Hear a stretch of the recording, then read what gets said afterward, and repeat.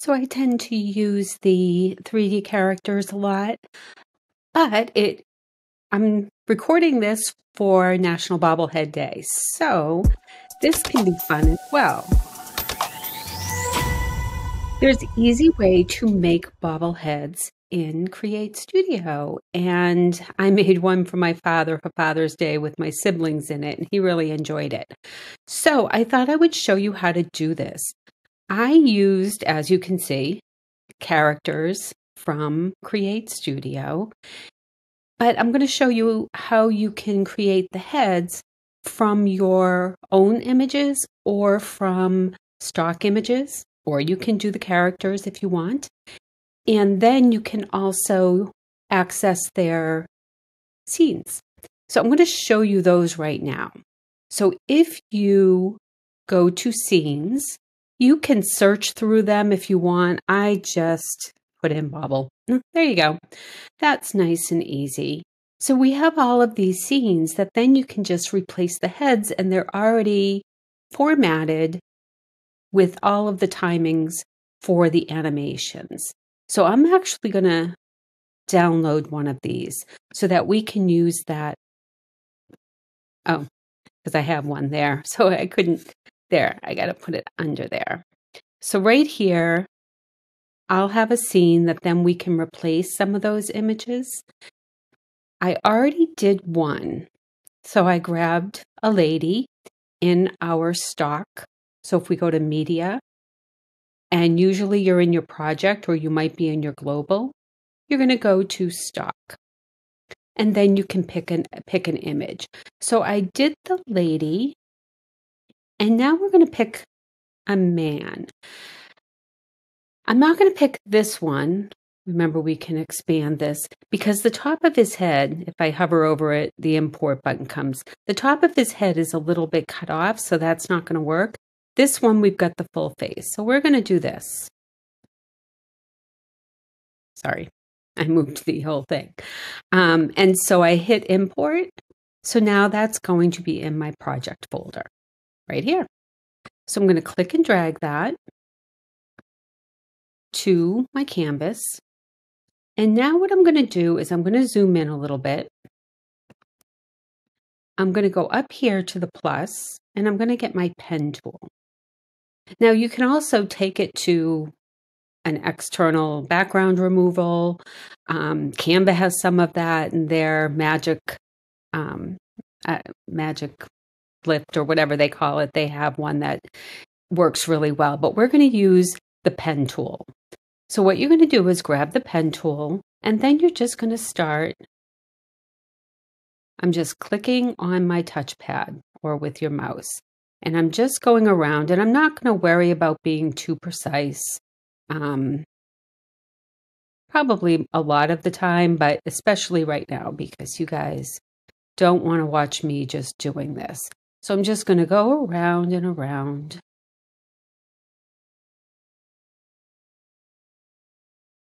And I don't want to say anything important because I might fast forward this depending on how long it takes. Um, but I'm just going to go around the face. Right here, I can tell I'm going too low. So, and once you go back and click on your first one, it's going to connect it. You see there's a black outline. Just click here. You can change it to a colored outline if you want. You can change the border width if you want but I just get rid of it. So I have no border, I have no color, and I just put the border width down to zero. Now I'm going to take the path and I can either just select them both or I can use my shift key and I'm going to mask it. Oh, I guess I didn't do too bad. Let's see. If I change this to black, it might be bad. Yeah, it's not so great. Um, but if you need to go in to fix any of it, you're just going to click on it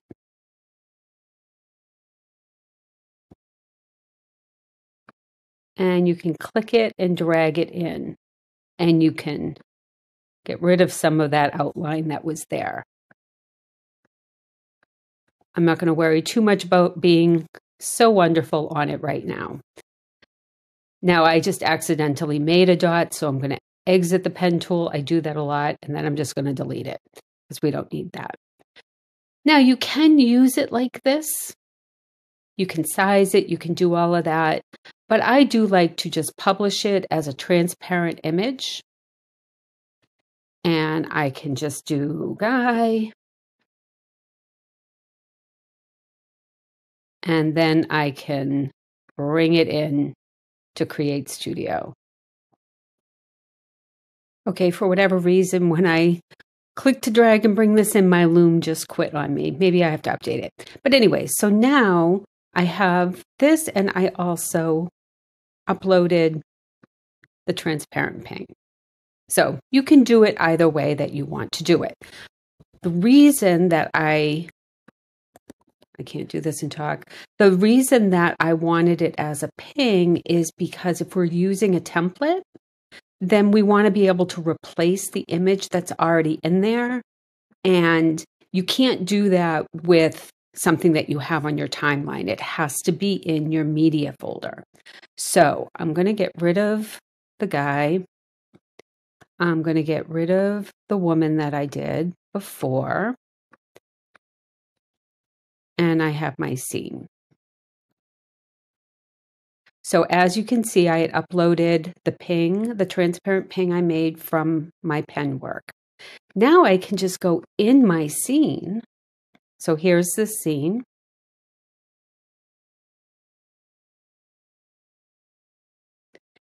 And I can just go right in, right here. I can replace the guy with the guy. I'm going to have to resize that, of course. And then I can click again and replace her with the woman.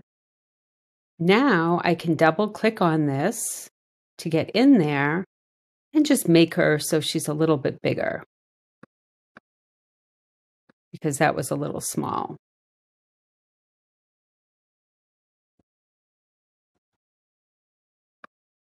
and move the hat a little bit. There we go. Then with our guy, I can just double click, double click, and I can make him bigger. Now I double clicked one too many times, so let's go back to the group and see. I might make him a little bit bigger, double click on here, and you can just resize them to fit however you want them to fit.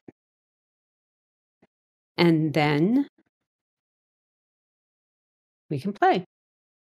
His crown's a little crooked, so we would have to fix that. But there you go. See how easy it is to fix that. And then you can even just go in here and you can change. Um, come to our bobblehead party. I don't know. I don't know who has a bobblehead party, but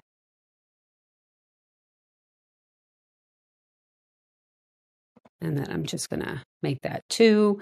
You, I'm not to show all of the ways that we can go in here and edit them, but you can come right in here. They're all in a bunch of groups and you can just resize them as well from in here if you want, and then change all of the text, the color, the size, the font, anything that you want. I'm going to get rid of those. But that's how quick and easy it is to change the bobblehead. I have to fix the hat, the crown, because it's too big.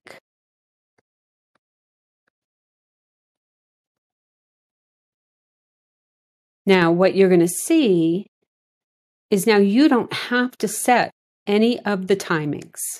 They're all in there. But let's look at what those timings are, right? So if we look at the woman with the face, this is a loop animation under motions and under loop. And they used the swing, which is the rotation. And if we click on this, we can see they're using the swing. The rotation is 21 for 11 loops. That's affecting the head. The body is just an animation of that option that you chose.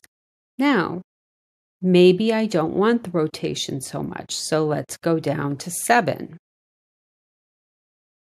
Now you see it's a little bit more subtle. I'm going to click on this so the menu comes up. We can make her go really crazy with 34. But here you can see her head is moving off the neck.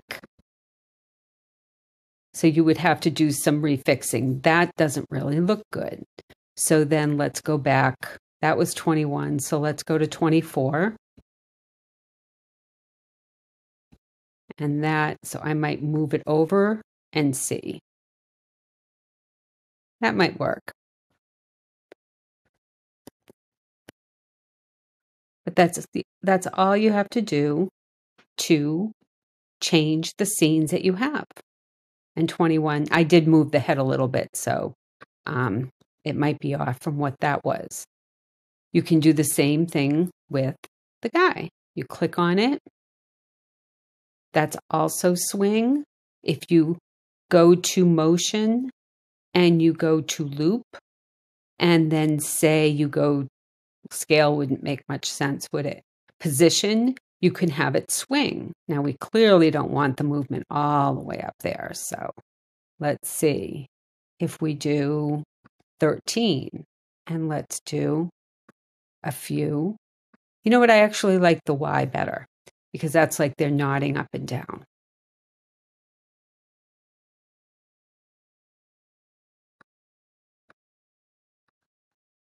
And let's make that, let's see. His head's going a little slower than the spastic hands, but you can always make all of these changes to the templates themselves. So I would recommend if you're going to try to do a bobblehead, just go in and check out what the scenes are, and then you can make them really easy. Let me go in one more time to show you characters. Go to bobblehead, and you've got a clown, sausage, you've got a bride and groom in here. Here's the bride and groom. They do have different um, skin coloring, although with with my friend here, it didn't look so good because her hands, while it was a darker color, was not as dark as her skin color. So I did go in there and do color replace from the initial. And then I just went in here, I used the color picker and I used it from her face. So it gave it a little, it be, not that a bobblehead is realistic, but it did make it a little closer in color than the original, which was this one. And it just didn't didn't look good. I didn't like that. So for National Bobblehead Day, I hope you choose to make a bobblehead.